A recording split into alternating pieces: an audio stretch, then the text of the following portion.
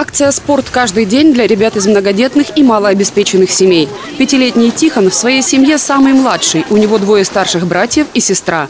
В этот день мальчик впервые прокатился с горки. Для наработки опыта в зимних развлечениях пока выбрал невысокие спуски. Потому-то они хорошие, и мне кажется, на них кататься. Мороз не помеха. От катания на ватрушках и ледянках в восторге не только дети, но и родители. Говорят, что от такого развлечения невозможно отказаться. Я очень оцениваю хорошо, потому что у меня вот как раз Тихон, он безумно боялся горок, как бы, и вот сегодня он первый раз по- покатился с горки, хоть с маленькой, но он согласился, поехал, и вот его теперь не оторвать.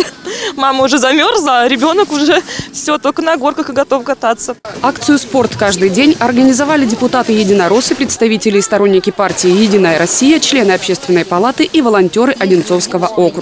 Они подарили детям ледянки для катания с горок. А воспользоваться тюбингами, которые обычно можно взять только на прокат, ребята в этот день могли совершенно бесплатно. Сейчас у нас э, замечательная погода. Э, Акцию решили провести именно после снегопадов. Сейчас э, самое время для того, чтобы дети не сидели дома, а гуляли, катались с горок, проводили больше времени на свежем воздухе.